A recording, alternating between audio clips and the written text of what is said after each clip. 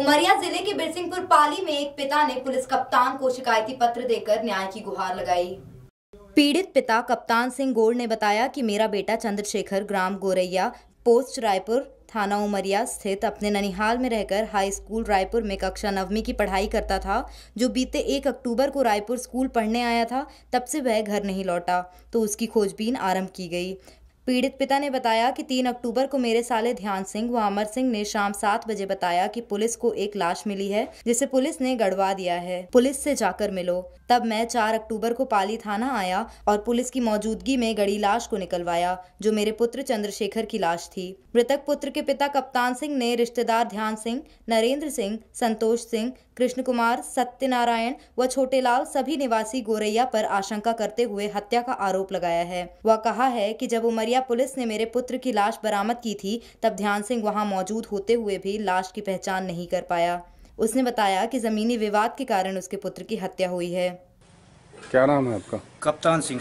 कहाँ के रहने वाले हो? ग्राम बरबसपुर अ, क्या शिकायत की हो एसपी साहब क्या मैं एसपी साहब की शिकायत ये किया हूँ कि मेरे बच्चे अगलौता को ससुराल में रहता रहा हूँ ग्राम गुरैया में तो मेरे बच्चे को मेरे को ये शंका है कि ध्यान सिंह और कृष्णा सिंह और नरेंद्र सिंह और संतोष सिंह और न, सत्यनारायण सिंह और छोटे लाल पिता हीरा सिंह को शंका यही जमता है साहब कि मैं इन्हीं के ऊपर मेरे को पूरी शंका है। क्या शंका है? शंका ये है कि मेरे बच्चे को मार के इन्होंने ये फेंकवाया गया है चूल्हा नदी में। एसपी साहब शिकायत कर दियो जी साहब मैं एसपी साहब के यहाँ शिकायत कर दिया हूँ। क्या बोले एसपी साहब? एसपी साहब देखे कागजात और जो भी जारी किए होंगे लेकिन एसपी साहब देखें। कब गया था आपका लड़का घर से?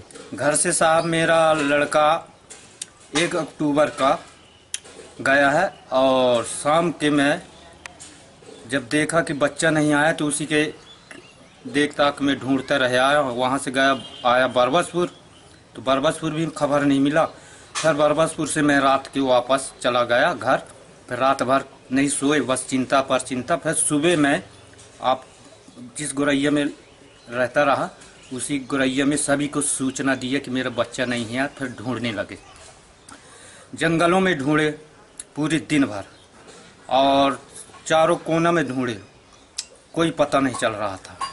इसके बाद हम तीन तारीख को ये पता चलता है शाम के सात बजे मेरे को ये खबर मिला कि आपका बच्चा लावारिस में पुलिस के दौरा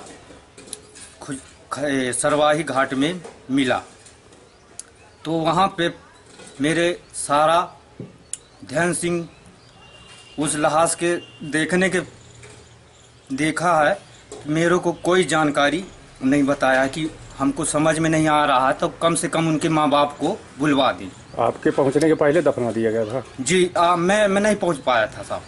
कौन कौन उपस्थित था वहाँ दफनाने के समय? दफना में समय में अमर सिंह था गड़वाने के समय में अमर सिंह था और ध्यान सिंह था लेकिन इतना नहीं कहे और अंत है गाँव के लोग बाग दो चार लोग और थे।